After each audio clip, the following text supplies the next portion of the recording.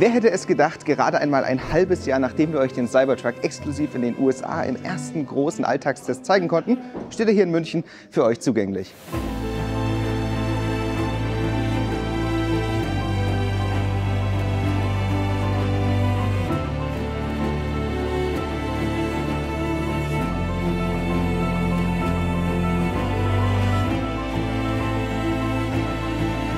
Und damit hey und willkommen zu diesem neuen Video hier bei Jonas und willkommen zu einem neuen ersten Eindruck des Tesla Cybertruck. Mittlerweile nicht mehr einer der allerersten 500, nein, der hier hat eine Fahrgestellnummer von 1600. Also Tesla hätte in der Zeit schon ein bisschen was lernen sollen an der Produktionsqualität. Und ich habe überlegt, was mache ich hier in München, wenn das Fahrzeug dasteht und Tesla einlädt, dass ich es euch nochmal zeigen kann. Zum einen, ich frage mal Tesla-Besitzer, was sie von dem Fahrzeug nach einer gewissen Testphase halten und ich zeige es euch hier nochmal im Detail. Und wenn ihr das Auto selbst erleben wollt, dann kommt entweder die Woche nach München oder nächste Woche nach Österreich. Denn in Flachau findet das Tesla Europe Takeover statt. Und da könnt ihr euch das Fahrzeug innen und außen ausführlich anschauen. Wir sind auch dort, reden ein bisschen über unsere Eindrücke damals in den USA. Zwei Tage mit diesem Fahrzeug. Und hier im Video schauen wir uns noch ein paar Details an. Da ist ja also der Cybertruck mitten in Deutschland. Für mich noch undenkbar vor einem halben Jahr und schon steht er hier und jeder kann ihn ansehen. Und das Auto ist spürbar besser geworden. Denn während wir damals noch leichte Verarbeitungsprobleme an der einen oder anderen Stelle einen kleinen Versatz hatten,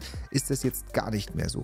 Die Heckleuchte sitzt perfekt, ist eine gerade Linie und auch insgesamt merkt man, Tesla hat die Hausaufgaben gemacht und wollte dieses Auto einfach noch einmal besser auf den Markt bringen. Und das haben sie dann eben auch hier nach Europa gebracht mit all den kleinen Raffinessen, denn es ist ja im Endeffekt ein großes Plastikfahrzeug mit einer Edelstahlhaube, so kann man es quasi nennen.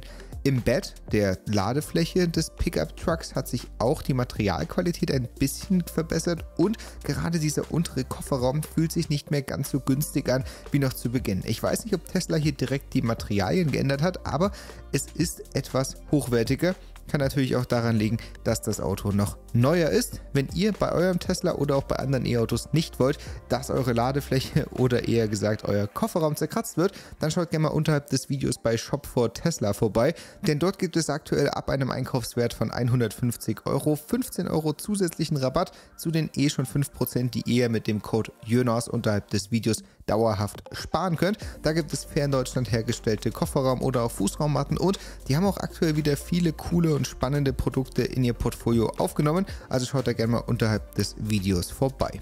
Ich habe dann in München tatsächlich aber auch noch was Neues gelernt, denn bei der Lightshow des Cybertruck zeigt sich, dass sowohl die Heckleuchte als auch die Frontleuchte dynamisch bewegt werden können und das nicht nur ein stumpfer LED-Balken ist, nein, der kann variabel angesteuert werden und das haben dann alle bewundert und ich fand das tatsächlich recht cool. Das zeigt, dass sich da vielleicht auch in Zukunft noch was tut. Jetzt schauen wir uns ein paar Details an, denn es ist mir einfach wichtig, euch zu zeigen, wie das Auto aktuell dasteht und das steht richtig gut da. Klar, es gibt kaum was Vergleichbares und Themen wie, dass der Frank von einer sehr, sehr schnittigen Kante abgeschirmt wird, um das mal so darzustellen, ist natürlich alleinstehend und brauchen wir nicht diskutieren, dass das schwierig wird für Deutschland zuzulassen. Ich habe vor Ort mit vielen von euch gequatscht und ich habe immer wieder betont, ich denke nicht, dass das Auto so hier zugelassen werden kann mit den hochstehenden scharfen Kanten. Da wird sich noch was tun müssen, aber man sieht, die Passgenauigkeit ist höher geworden und versteht mich nicht falsch, das war in den USA nicht schlecht. Man konnte aber an der einen oder anderen Stelle sehen, dass die Spaltmaße nicht perfekt waren und das wurde hier wirklich überarbeitet, denn alle Bilder seht ihr jetzt hier direkt aus München und auch die Fingerabdrücke sind weiterhin auf dem Auto. Da konnte Tesla noch nichts machen, außer Glasreiniger parat stellen. Wie bei allen aktuell neu ausgelieferten Cybertrucks hat auch der hier leider nicht mehr die schönen Radzierblenden. Die haben mir sehr gut gefallen, haben das Rad nochmal größer gezogen. Die sind aktuell aufgrund eines technischen Problems nicht verfügbar. Dafür gab es im Innenraum das modifizierte Gaspedal, denn Tesla hatte hier technische Probleme und hat das mit einer Niete gefixt. Mir persönlich gefällt ja das Display im Cybertruck sehr gut. Es ist das größte, was Tesla aktuell zu bieten hat, ist Tesla typisch sehr schnell und hat viele kleine Spielereien.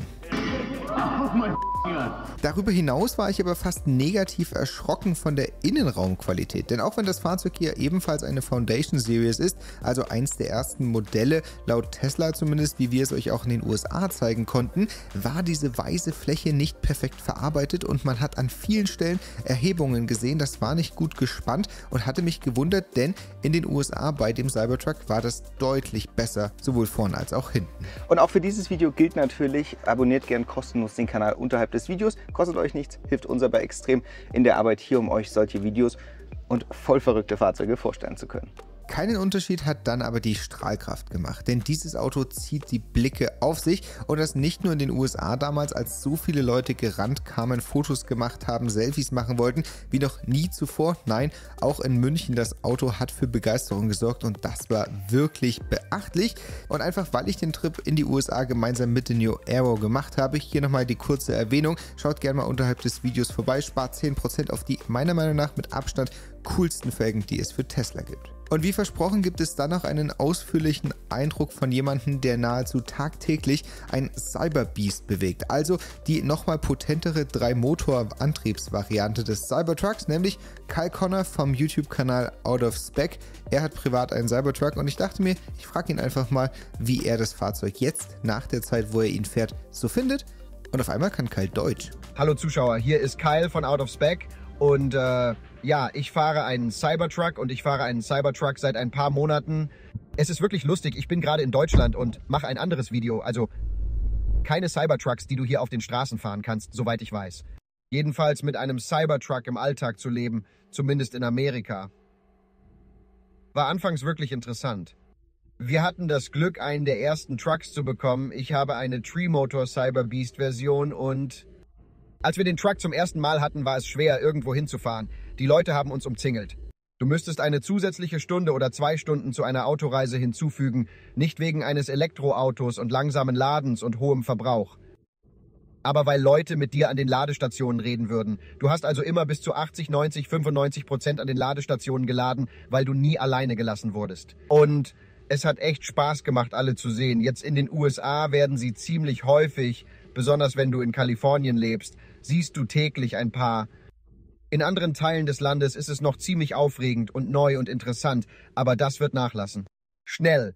Und das passiert bereits. Und jetzt wird es mehr zu einem normalen, ich würde nicht sagen normalen, aber es wird zu einem ziemlich gewöhnlichen Anblick. Und ich denke, jeder, der in den USA eine sehen wollte, hat eine gesehen. Und so kann ich jetzt einfach den Cybertruck genießen, so wie er ist. Und erstens, der Antrieb ist unglaublich. Es hat viel Power. Wir haben eine vordere Differentialsperre als Update. Damit können wir Offroad fahren, was großartig ist. Ich wünschte, das Fahrzeug wäre am ersten Tag komplett gewesen. Es gab viele Software-Updates, auf die wir noch warteten. Das Fahrzeug hat immer noch keinen Autopiloten, also musst du es manuell fahren, was ich verrückt finde, dass Teslas Flaggschifffahrzeug nicht einmal einen grundlegenden Autopiloten hat, geschweige denn die FSD-Beta oder etwas ähnliches. Also das ist etwas nervig, aber die Leistung in der Tri-Motor-Version ist unglaublich. Es ist wirklich schnell. Die Steer-by-Wire ist das unglaublichste Teil des Trucks. Es fühlt sich so wendig an durch die Hinterachslenkung, aber auch wie wenig Lenkbewegung du eingeben musst. Ich habe auch einen Rivian RNT, den ich die letzten zwei Jahre täglich gefahren habe, und der Cybertruck fühlt sich viel wendiger und interessanter an als der Rivian. Ich meine, ich liebe den Rivian und ich denke immer noch, dass der Rivian meine Wahl gegenüber dem Cybertruck ist. Es ist ein hochwertigeres Paket, fühlt sich einfach durchdachter an. Es ist auch etwas kleiner. Definitiv besser. Der Cybertruck lässt sich nicht gut fahren. Es ist okay, aber es gibt viel Stabilitätskontrolle und es ist einfach, weißt du, typisch Tesla, lässt dich keinen Spaß haben. Obwohl ich denke, dass sie daran mit mehr Software-Updates arbeiten. Aber was ihr über den LKW wissen wollt, ist, dass die Bauqualität für die ersten 5000 Meilen oder so, vielleicht 8000 Kilometer wirklich gut war und dann ging es sehr schnell bergab. Ich habe Knarzer und Klappergeräusche, der Fahrersitz wackelt, es gibt Geräusche. Der Scheibenwischer ist abgeflogen, aber das Metall sieht super aus. Mein Kollege Colton, der unseren Detailing-Kanal leitet, hat es nach wirklich 20.000 Kilometern Missbrauch jetzt gereinigt. Und das Metall sah wieder wie neu aus. Es sah schrecklich aus, überall angelaufen und kleine Rostflecken. All das ist weg und es kam frisch zurück. Es war wirklich spannend zu sehen, wie schön es mit einer einfachen Wäsche und etwas Metallbehandlung wiederhergestellt werden kann. Er zeigt auf dem Out-of-Spec-Detailing-Kanal, was er gemacht hat. Ich weiß ehrlich gesagt nicht, was er gemacht hat. Die Soundanlage ist der Hammer. Eines der besten Dinge, die ich je gemacht habe. Audiosysteme, die ich je in einem Auto gehört habe. Wirklich. Es ist wirklich nächste Stufe. Es hat diese große Klanglandschaft. Klingt, als wärst du in einem Konzertsaal. Es hat die ganze Power der Welt. Die Subwoofer werden die Fenster des Autos neben dir sprengen. Es ist verrückt. Und es ist einfach ein wirklich, wirklich gutes Audiopaket. Und es ist interessant. Das ist cool. Ich denke, wir brauchen mehr lustige, schräge und interessante Autos auf der Straße. Das heißt nicht, dass der Cybertruck perfekt ist und ich absolut alles daran liebe. Das glaube ich nicht. Ich kann nicht fassen, dass Tesla ein halbfertiges Produkt für mehr Geld ausgeliefert hat, weil sie dich zwingen, die Foundation-Serie zu kaufen und zahlen, ohne dass du Nutzen davon hast. Ich habe keine Lichtleiste, keinen Autopilot und bis vor kurzem kein Differential. Äh, die Liste geht immer weiter, aber es war wirklich eine interessante Erfahrung als Besitzer. Ich habe es bis jetzt geliebt, damit zu fahren und wir haben es noch mindestens neun Monate, bis Tesla uns erlaubt, es zu verkaufen. Sie werden uns nicht erlauben, es vor einem Jahr zu verkaufen, was ich wirklich nicht weiß, wie sie das durchsetzen können. Ich denke, sie sind es wohl nicht, weil sie auf dem Gebrauchtmarkt auftauchen und das auch für viel Geld. Also, ich hoffe, ihr fandet das ein bisschen nützlich. Es ist ein interessantes Fahrzeug. Es ist ziemlich teuer. Es ist ein Statement Piece. Es ist mehr ähm, ein Gesprächsthema. Wir nennen es im Moment die Tech Bro Art von Auto. Aber ich würde gerne sehen, dass sie für echte Arbeit und nützliche Zwecke eingesetzt werden. Ich stelle mir vor, wenn die Preise fallen, der Gebrauchtwagenmarkt einbricht, werden diese Dinge an Wert verlieren.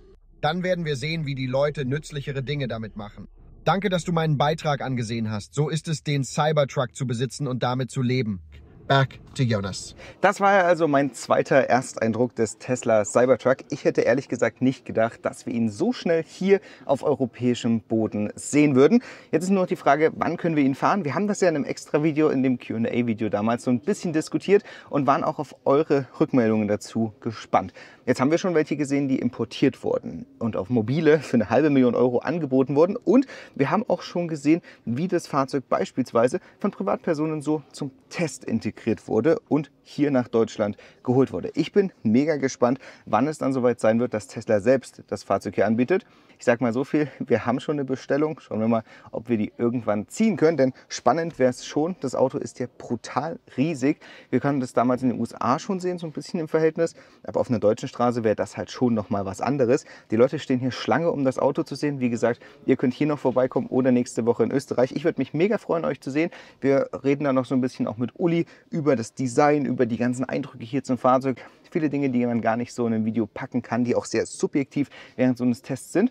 Und ich finde es mega cool, dass Tesla den Schritt gegangen ist und hier das Fahrzeug hergebracht hat. Schreibt mir gerne eure Meinung dazu in die Kommentare. Und ansonsten seht ihr hier oben natürlich unseren ausführlichen ersten Eindruck des Tesla Cybertruck in den USA. Und hier unten gibt es den noch etwas ausführlicheren Fahreindruck.